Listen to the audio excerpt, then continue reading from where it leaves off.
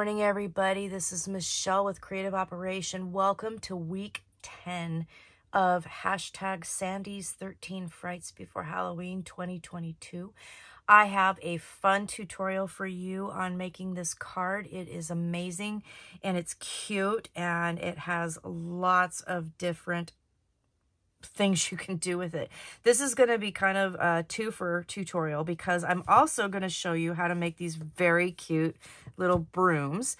I've been playing with making these. Um, so we'll go through that. I used one on the cover of the card. So that's why I thought, well, I'm going to show you how to make those as well. So what we're going to be making today is called an oyster card. And I got this idea from the Fold Factory. And um, that is a great place where if you're into, you know, like advertising and stuff like that, they they kind of focus on advertising and brochures and mailers and things like that. They come up with some really cool ideas, and I've gotten a few ideas from them to make, you know, cards and things like that. Um, so they had this oyster fold that I wanted to kind of play with, and it kind of reminds me of an explosion board. So you guys know that I'm totally like into explosion boards. But um, I made this cute little card. It is very um, dimensional. It has pullouts that you could do. This particular size is uh, four by four. Uh, you could use this, mail it, um, give it to somebody, and you could like put gift cards in here. So this would be a great way to give a present. Um, it's just really super cute and it's actually quite fun and easy. So you can make it as complicated or as easy as you want um, as far as that goes. Um, this one here, I used cardstock to make it and then I covered it with pattern paper. So it got a little bit more fussy, but if you use pattern paper, it'll be a lot easier. So you can do these really, really quick. So I'm going to show you how to do it with a pattern paper. I'm going to kind of give you some um, information here and in the description about if you wanted to use cardstock and then cover it with pattern paper, um, you could totally do that. So for this example, I'm using Park Lane um, cardstock. Pattern paper is by Echo Park and it's called uh, Arsenic and Lace. And it was done in 2014. So I used the paper and the stickers from that collection. I also used a little bit of Chillingsworth Manor, a 6x6 paper pad from Echo Park that I thought matched the collection as well and then made my own broom and I'll show you how to do that. And then this is a spider ring that I just cut the spider off and then glued it to the front.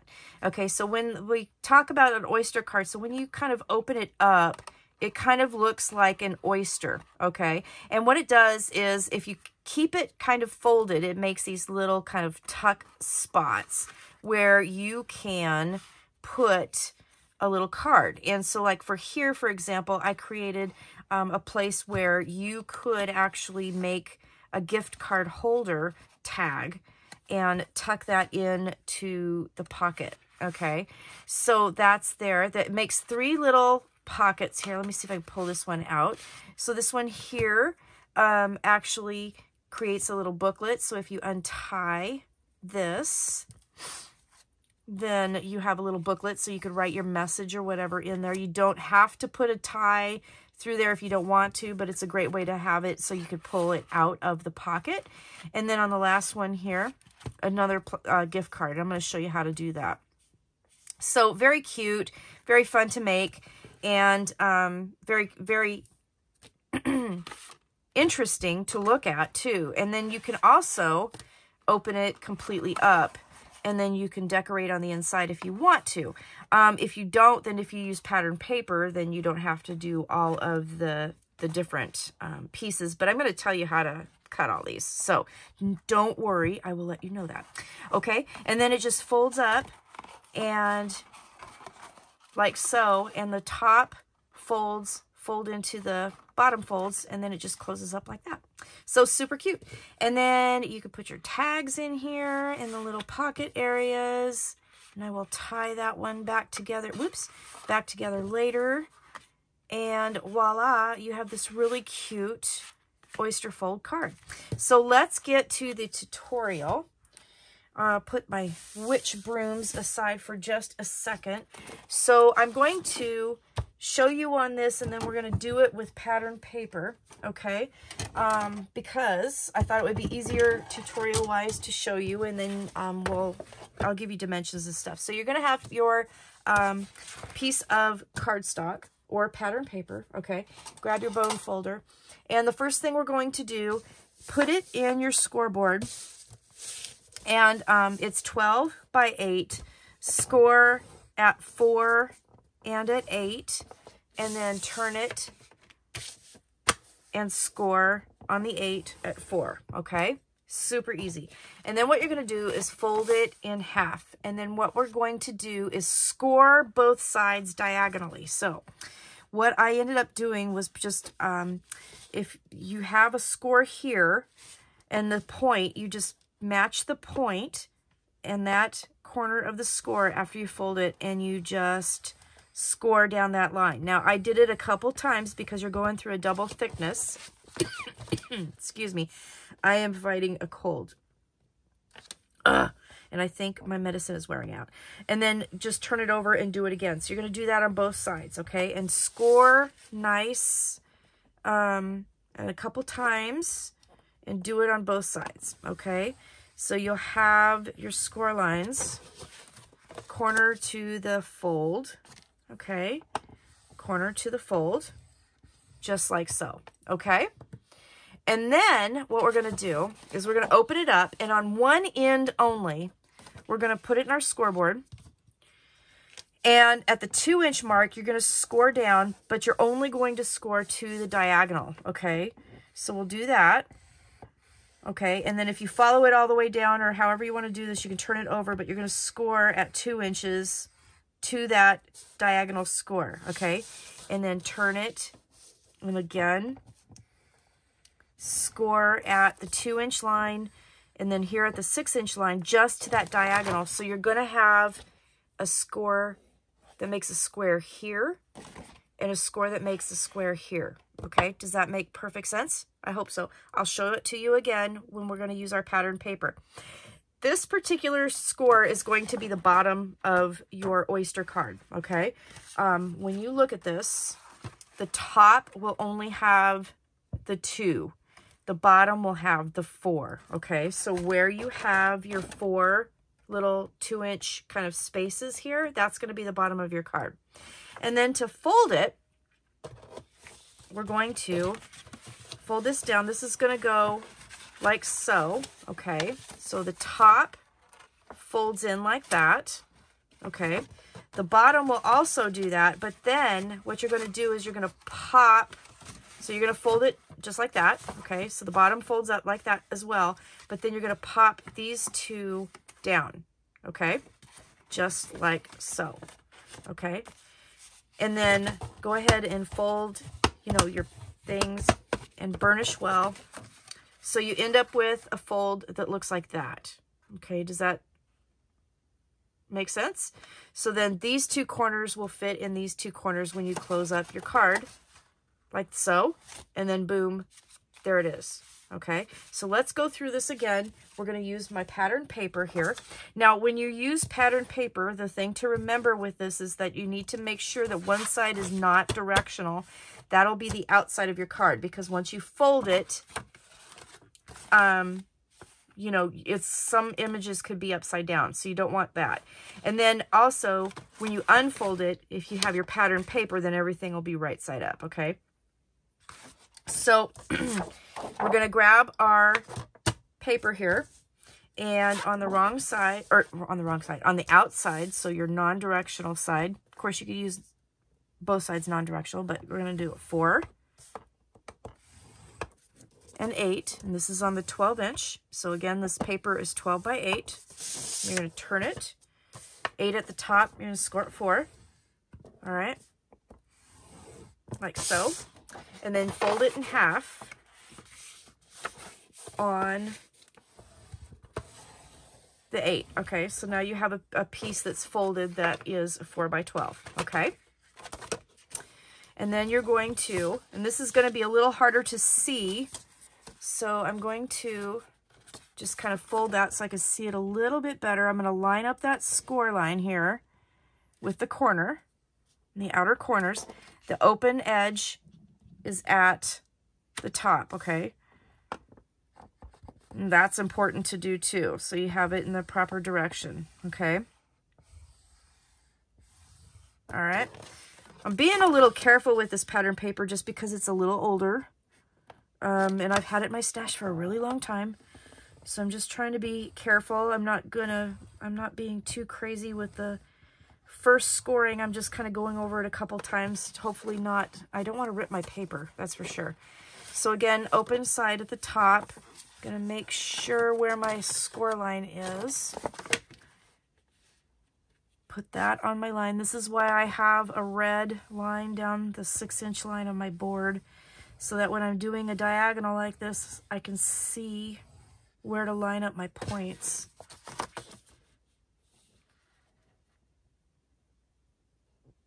Like so, okay?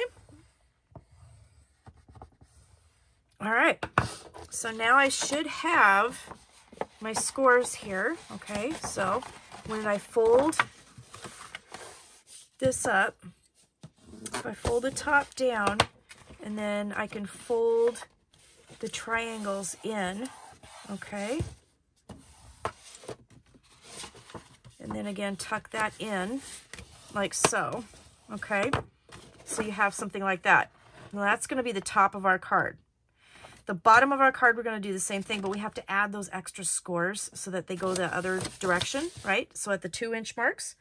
So we're going to put it in our scoreboard and there's my score line right there. I'm just going to score at the two inch mark, just down to the score. Don't go past the score, okay? And then what you can do is turn it and do it again at the top. So score two inch to the score line, okay? And then go over here, eight, so the two inch line would be at the six, right? And then go down the score. And then you can turn it again if you want to do that.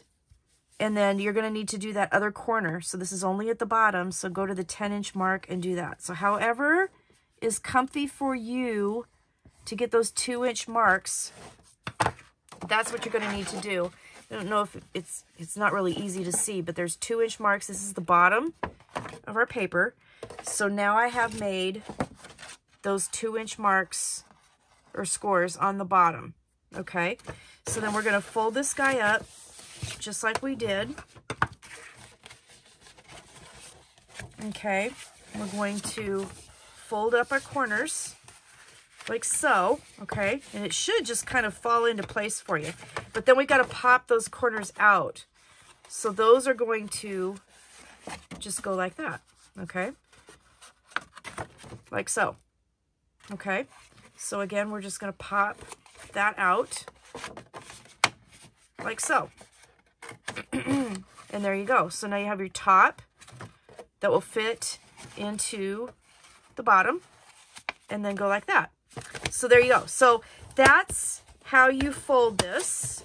And then now it's just a matter of decorating, making your tags to put inside. So this is a four by four card. Um, and it makes three pockets. Okay. Um, let me show you. So if you use your pattern paper, you're basically done and you don't have to do any further decorating. Now, when you use cardstock and then have to add pattern paper on top, it's going to make it much thicker. You can see how much thicker it's going to be. Um, so that is something to consider. So you can do it either way.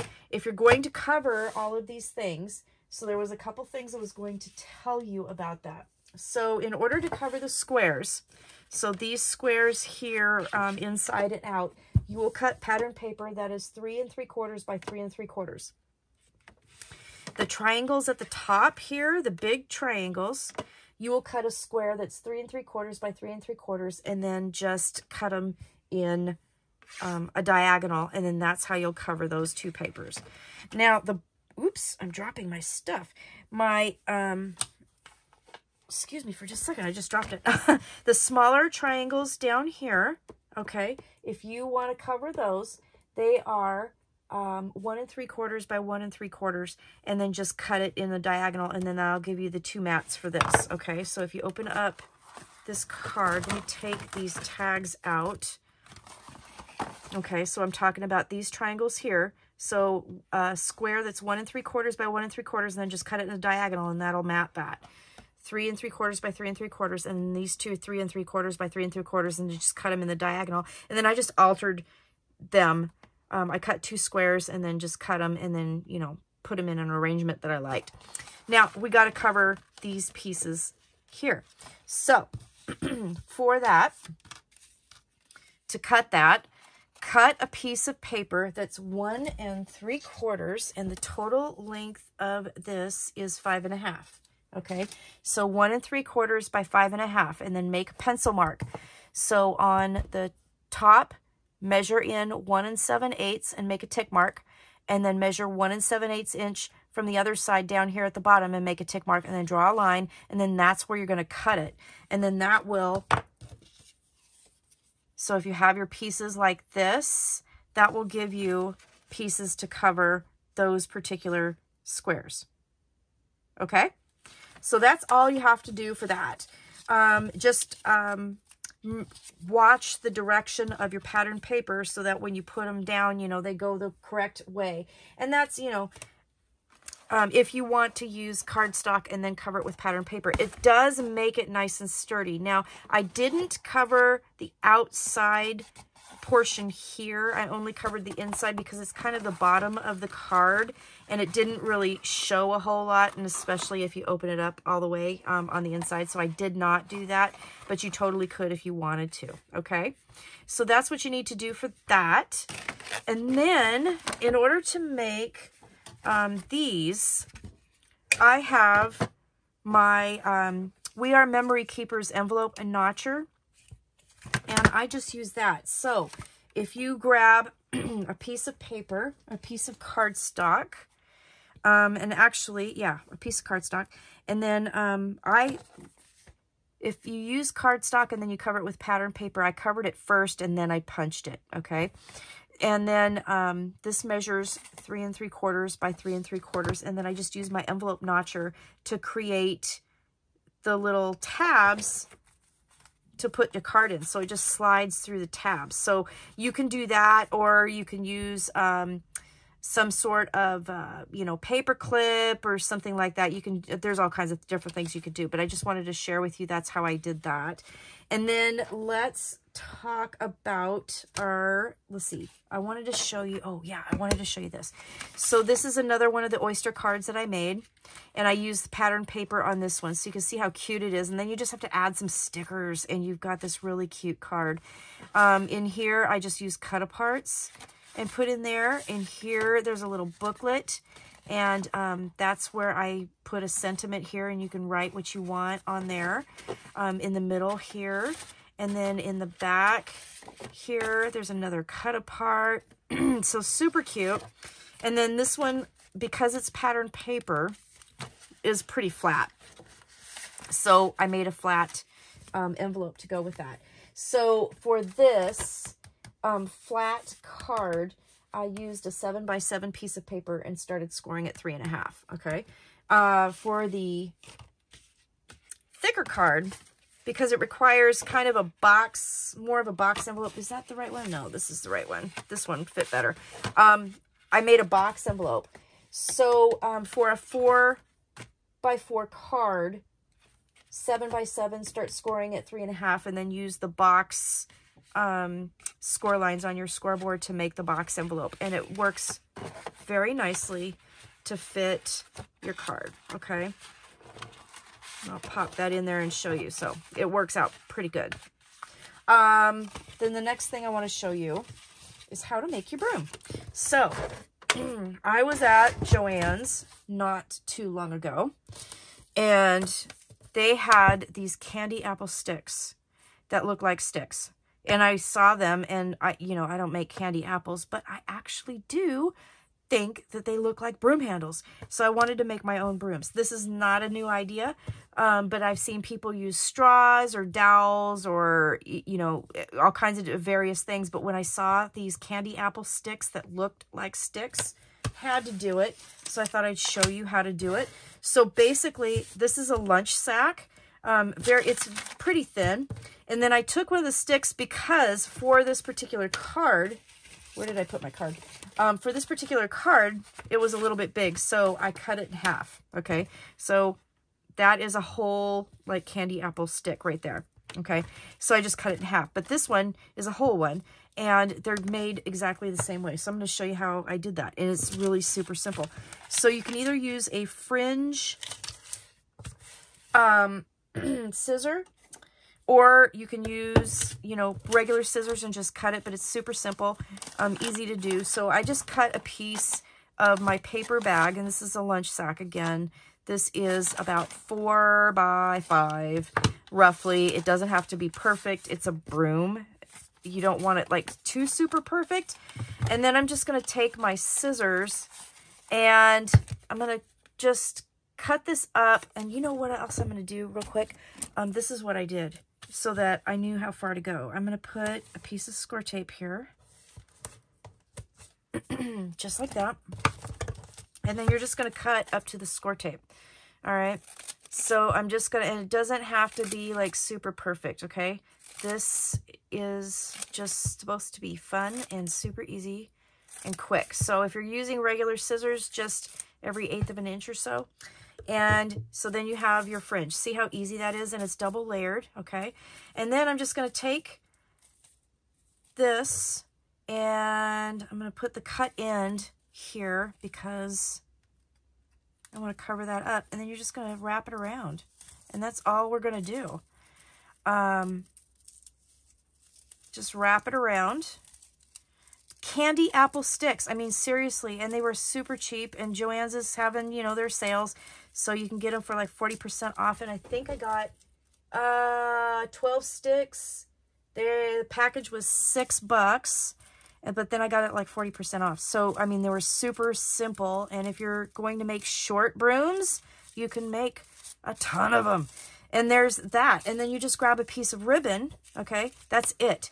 And just grab a piece of ribbon and tie it around and boom, you're done. And you got a broom embellishment, which I think is absolutely adorable. And that's what I used for the front of my card because, you know, I had this witch sticker on here. So that is my tutorial for my oyster card. And this is a project for Sandy's 13 Frights Before Halloween. And I just think this is a really fun card. So I hope you enjoyed it too. Um, let me know if you have any questions. Have fun with it. And I will see you again soon with more tutorials. Stay scary, my friends. Bye-bye.